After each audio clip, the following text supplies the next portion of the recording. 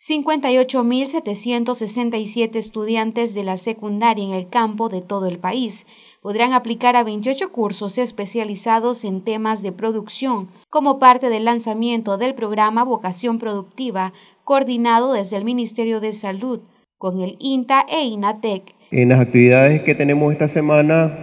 vamos a tener actividades relevantes como el lanzamiento del programa de vocación productiva para el trabajo y la vida. Este es un programa especial que se ha preparado con el Sistema Nacional de Producción, Consumo y Comercio, con el INTA,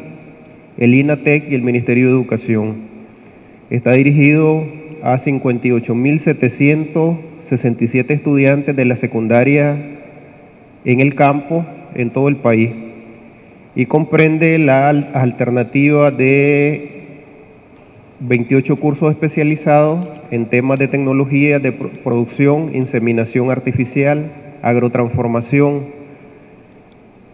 Este lanzamiento lo estaremos haciendo cerrando esta semana, el día sábado, y de manera simultánea en todo el país, dando a conocer cuándo inician los cursos, cuál es el perfil y cómo esto promueve que nuestros estudiantes que están en contacto directo con la producción del país, que son hijos de pequeños productores, pequeñas productoras, campesinos, lleven todos esos conocimientos también a sus familias y entonces la educación es una educación para la comunidad, para la familia y esas son buenas noticias porque nos ayuda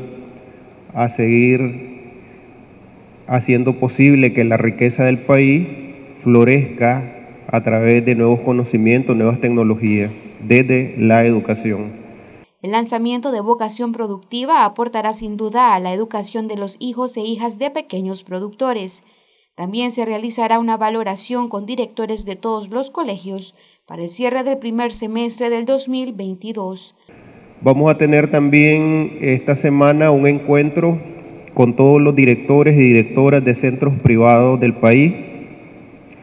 para abordar una valoración de los avances del ciclo escolar y las proyecciones del segundo semestre.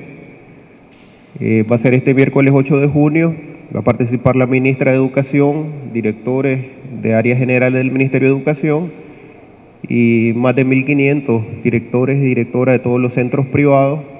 algunos de ellos subvencionados, que eh, concentran como el 15% aproximadamente de la matrícula del país. Para Noticias 12, Gabriela Solórzano.